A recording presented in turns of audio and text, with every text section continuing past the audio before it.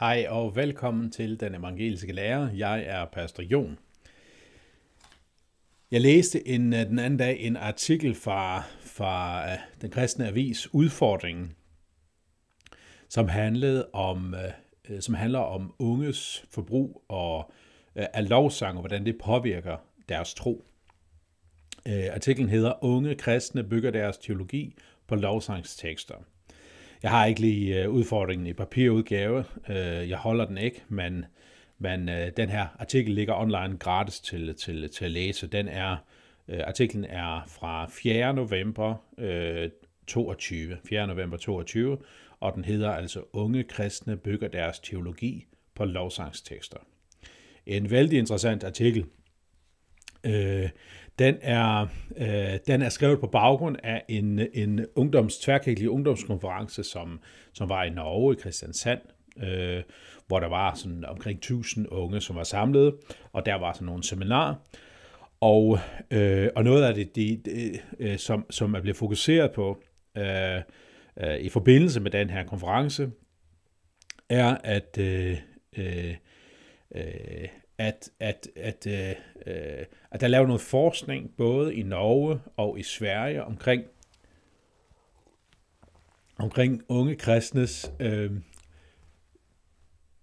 brug af, af Bibelen, og hvor de får deres primære information omkring kristendommen fra meget interessant, og der er rigtig mange spændende ting i det. Jeg håber, at jeg kan få fat i nogle af de mere videnskabelige artikler, som er skrevet af de her forskere.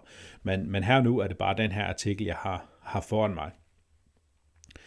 Øhm, der står blandt andet sådan her, øh, hvor en af forskerne, øh, Roald Seifert, øh, hvor han blandt andet har, øh, øh, har sagt, at mange unge sjældent læser i Bibelen, og de oftere bygger deres teologi på lovsangstekster end på skriftord. Endvidere så, så, så står der også i artiklen, øh, at der fremgår, i, det er så fra den svenske øh, avis Dagen, øh, der står sådan her, det fremgår, at lovsang rangerer vigtigere, som vigtigere end forkyndelse og bibeltekster, når unge skal udtrykke, hvad der påvirker deres tro mest. Sangene betyder rigtig meget. Der står ikke helt præcis i teksten her, og hvad forskningen ellers øh, kommer frem til, hvad de mener med, at sangene er det, som påvirker den mest. Jeg tror, men det er så lidt et gætværk fra min side, men det er også baseret på noget erfaring. Jeg tror, at det handler om to ting. Den ene ting handler om, te- øh, om teksterne til sangen og deres indhold, og det andet, det handler om selve oplevelsen, øh, øh, følelsen, når man lovsynger, når man synger sang til Gud.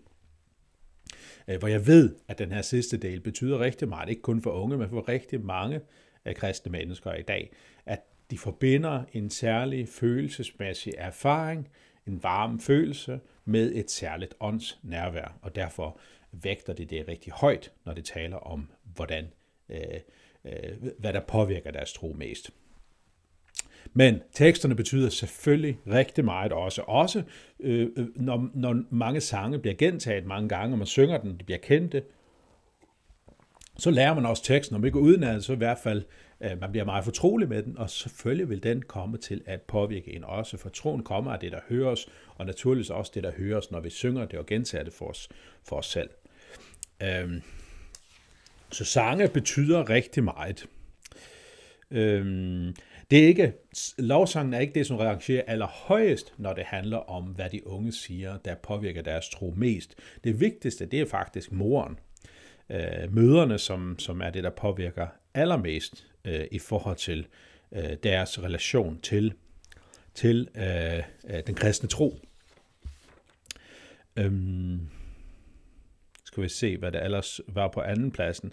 Jo, og så er det, at, at farens påvirkning ligger på tredje pladsen. Altså øverst er, er, øh, øh, er morens påvirkning. Dernæst er det lejer. Øh, jeg forestiller mig, at det handler om diverse børnelejre, ungdomslejre, bibelcampings og sådan noget. Er på anden pladsen, og så på tredje pladsen kommer faren. Men øverst oppe er altså moren, og på fjerde pladsen kommer lovsangen, og på niende pladsen er bibellæsning. Øh, og også i den sammenhæng er der diverse andre ting, som, som øh, øh, øh kirke og præst osv. Men lad os på øverste pladsen moren, dernæst øh, øh, lejer, og så, øh, så kommer Øh, faren, og så kommer lovsangen. Men altså, læg mærke til det her, hvor vigtig lovsangen er, og den står over, altså over øh, øh, Bibelen og bibellæsning, og tyder det også på øh, længere oppe end, end forkyndelse af Guds ord. Kristne bøger og lignende. Så altså, det er meget vigtigt med den her lovsang. Så er spørgsmålet naturligvis, hvad gør vi ved det? Uh, man kan selvfølgelig bare brokke sig over det unge. Ej, kan de godt tage sig sammen? Kan de ikke godt øh, tage og, og lytte til forkyndelse? Og der tror jeg faktisk, der er en vis point i det. De unge skal lære at gå i kirke, lære at læse Bibelen og alle de her ting. Men der er også et andet ansvar. Det er vi, der er kristne ledere og forældre til børn, møderne, som har så stor indflydelse. Hvordan påvirker vi dem? Hvad er det, vi vidner om, påvirker med, når vi skal prøve at pege dem hen på, hvor de får den bedste erfaring af, hvad Gud vil dem?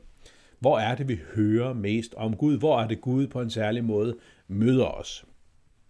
Så der har vi en indflydelse, også der er forældre og ledere i kristent arbejde. Øhm. I artiklen her, der, øhm, der siger Seifert, altså han her forskeren, han udfordrer lovsangerne. Seifert mener, at undersøgelserne både i Norge og Sverige indebærer, at lovsangsteksternes forfattere bør indse, hvor stort et ansvar for de kristne unge de har. Og lovsangsledere bør sørge for endnu mere kvalitet i deres tekster, siger han. Man tilføjer, at han også har det indtryk, at der er sket en vis forbedring på dette punkt det seneste år. Men altså, det er virkelig vigtigt for dem, der skriver sangene, at de er bevidste om, hvad det er, de tager frem. Jeg selv er en, der skriver sange, så, og jeg prøver at tænke meget på, hvad det er, øh, teksterne øh, formidler, og, øh, og er også bevidst om, at jeg skal tage diverse temaer op i sange, som, som måske ikke er det, som man synger mest. Går man tilbage til den helt gamle salmeskat fra, fra øh, fra kirken, så vil man også opleve mere fyldige tekster. Du vil også finde tekster, som har det der øh, præg af, at vi bare takker Gud. Vi er så taknemmelige for det, han har gjort for os. Men der er også rigtig mange sange, som er meget belærende. Samtidig med de er lovsange, så er det meget belærende i forhold til, hvad Gud gør for os, hvem Gud er, og også hvordan han møder os i forskellige øh, situationer i vores liv. Øhm, skal jeg lige finde en bibel her. I Kolossenserbrevet kapitel 3, vers 16, som man kalder for lovsangsfolkenes lille bibel, lovsangslederens lille bibel, musikernes lille bibel, der står der sådan her.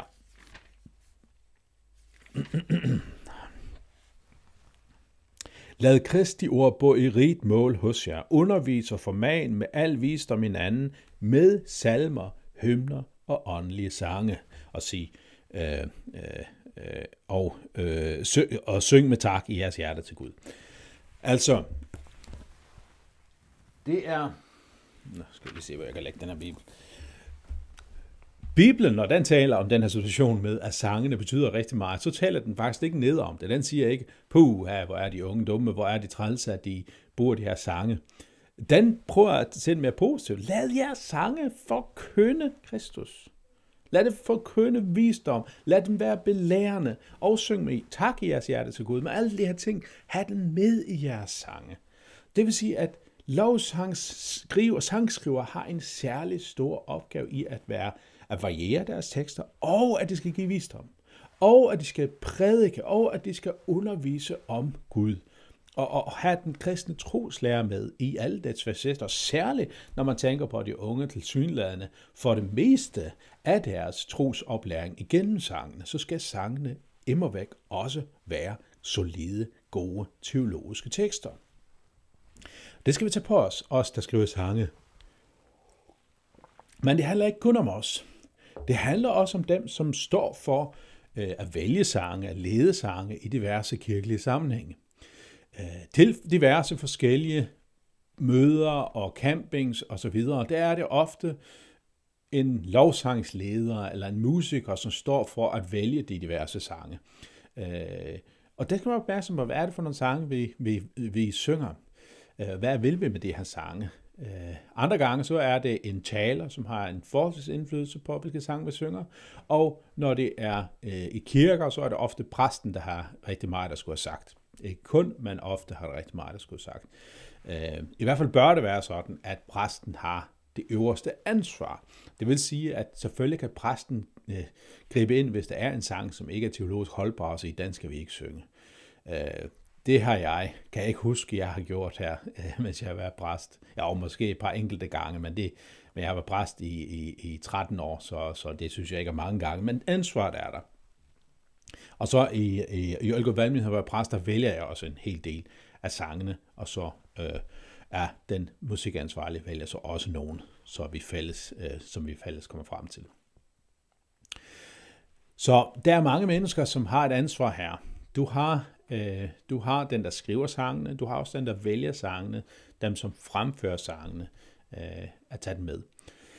Øh, og så handler det selvfølgelig også om, hvor er det så, de unge møder de her sange, og hvad, hvad er det, forældrene leder den til? Moren, som har så stor indflydelse, hvordan tager man det med ind i deres kristenliv? Jeg tror, jeg synes og mener, at det er vigtigt, at, at de unge og børnene lærer at læse deres bibler, og komme trofaste i kirke og kirkelige sammenhæng. Det er så vigtigt. Det skal vi prøve at oplære dem til så godt vi kan som forældre, og det skal kirken være god til at oplære dem til så godt de kan. Det betyder ikke, at når de så kommer i kirke, så skal de altid have en, en følelse af, at det her er super relevant, eller det her er noget, der taler direkte ind i deres liv. Det er ikke det, jeg mener, men de skal få en fast tradition, en rytme i at komme ind under Guds ord. Det er godt, og det er vigtigt. Det betyder også, at forældre skal have en skal ture at være forholdsvis klar omkring, hvad de anbefaler. Altså, at man anbefaler, hvor vigtigt det er at gå i kirke, og også at man skal være kritisk i forhold til, hvor man går i kirke. Gå i kirke, der hvor der er en klar forkyndelse, og gå i kirke, hvor der er nogle gode, klare sange, der bliver sunget. Så vær kritisk bevidst. Det skal vi som forældre være, det skal vi som kirkelige ledere være, og det skal de unge naturligvis også, og alle vi andre, når vi skal finde sted at komme i kirke. Ja, det var lidt nogle tanker, så har jeg lyst til at øh, nævne en artikel mere, og den er skrevet af min kone, så det er ikke så ringe endda. Hun er ansat som musikkonsulent i Luthersk Mission, og hun har skrevet sådan en lille artikel, som han kalder for 10 gode råd til lovsangslederen. Øh, det er, den er, artikel er udkommet i, øh, i øh, tidsskriftet øh, budskabet, som, øh, som Luthers Mission udgiver. Jeg vil egentlig gerne gøre reklame for det, øh, for budskabet. Det er et rigtig godt øh, øh, øh, tidsskrift, hvor man dykker lidt ned i, dybere ned i nogle teologiske emner, men samtidig på en let og forståelig måde. Så hermed en anbefaling til at, øh, til at prøve at, øh, at stille bekendtskab med budskabet, som Luthers Mission udgiver. Okay, nok reklame. Øhm, Ja, Leila, min kone, hun har altså skrevet den her artikel, hvor hun har de der 10 gode råd til lovsangslederen. Uh, mange af rådene, de er sådan af praktisk karakter. Uh, de handler om, at man tør at tage lederskab, når man leder lovsangen, at man øver sig i, hvordan sangene bliver bundet sammen, at man er godt forberedt, at man tænker kreativt, at man er hensynsfuld i forhold til, hvem er det, der synger, sprog og, og så videre. Øh, der er nogle rigtig fine ting der, men jeg har lyst til bare at stanse ved de, de tre første råd, som er de mest, øh, dem, der har mest med selve indholdet at gøre, hvis man kan sige det sådan. Det første råd, hun har, det er, der skriver hun sådan her, peg på Gud. Det drejer sig ikke om dig, din musikalitet, dine fejl, eller om du er god nok formidler. Det drejer sig om Gud. Det her skal vi også tage på os som sangskrivere. Det handler om Gud. Det handler ikke om, at jeg føler det her. Jeg har brug for at komme til dig. Jeg mærker sådan og sådan. Jeg øh, øh, øh, har sådan behov for dig. Altså alle de her ting må man naturligvis godt være, være med, øh, og, og nogle gange giver det også mening at tage med, men, men det skal ikke være det, som det drejer sig om. Det skal ikke det, være, der er i centrum. Det skal handle om Gud hvordan Gud tjener os, hvad Gud siger til os om hans ord, om vidnesbyrdet om ham. I forlængelse af det, så kommer hans anden råd. Vær kors, vælg korscentriske tekster. Lige så kritisk som du vil være over for en prædiken, øh, der har et skævt fokus, lige så kritisk skal du være over for sangtekster. Altså igen, brug, øh, øh, som jeg også siger, vær kritisk omkring, hvilke sange du synger, men vær også kritisk som sangskriver, at det er en god, sober teologi, du øh, øh, tager frem og øh, fokuserer på i de her tekster, du skriver. Men altså også til dem, der vælger sange, vær bevidst om, hvad det er. Vær bevidst om, hvad det er, de siger, og vær mere bevidst om det, end hvordan det lyder. Det skal selvfølgelig også, I skal også være opmærksom på, hvordan det lyder, om det er let sangbare, om det, om det lyder godt, og, og så videre. Det er fint, og det er godt, øh, men det må aldrig være det vigtigste. Aldrig. Hellere en dårlig melodi med en rigtig god tekst, end en fantastisk melodi med en dårlig tekst. Det tredje øh, øh, gode råd, som, som Leila har med, det kalder hun sådan her, at nævner hun, giver hun overskriften, giv plads til, øh, til hele mennesket.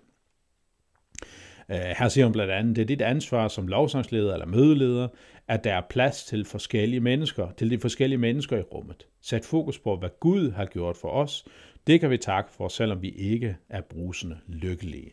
Altså, øh, sangene handler om Gud, men de er sange til mennesker, og det er nogle sange, som vi mennesker sætter ord på, når vi lovpriser Gud, eller underviser hinanden og os selv omkring, hvad Gud er. Og her er det, siger Leila, vores ansvar, eller den ansvar, som, som har med at vælge sangene, eller lede sangene, at der for det første skal være plads til forskellige mennesker, rumme forskellige mennesker, men også at lægge stor vægt på, at det er altså hvad Gud har gjort for os, der er i fokus. Det er ikke, hvad føler vi, hvad oplever vi, hvad skal vi. Det handler om Gud, og det handler om Jesus, det handler om korset. Det er det, der må være i, i fokus. Så der er den her spændende artikel fra udfordringen, som jeg synes er meget interessant, og den forskning, der ligger bag. Og jeg synes, der er nogle alarmklokker, som bør ringe, når de unge søger deres primære, primære troslærer i øh, lovsangene, og om det er præget af sangteksterne, eller det er præget af selve oplevelsen med lovsynge, det, det melder artiklen ikke noget om. Jeg tror, der er en, en, veksel, en vekselvirkning mellem de to ting. Men altså, her er en udfordring, og her er, her noget, vi skal være påpasselige med. Både at udfordre de unge til at, øh, at søge deres viden, deres udrustning, deres troslære andre steder end i lovsangene. At de må læse i Bibelen, at de må øh, lytte til Guds ord, læse gode kristne bøger.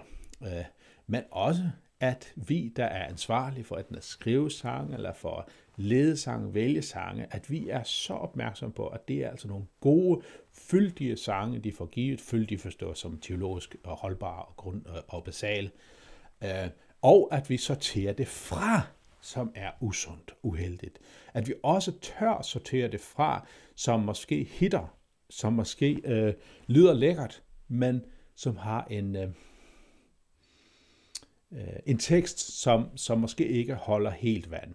Hvis vi vælger nogle tekster, som er skær lidt tyndere, eller, eller ikke siger så meget, men man heller ikke rammer sådan direkte ved siden af, så vær opmærksom på det, hvordan vi formidler det, hvad siger vi til den, og hvad, hvilke andre sange er det, vi har med.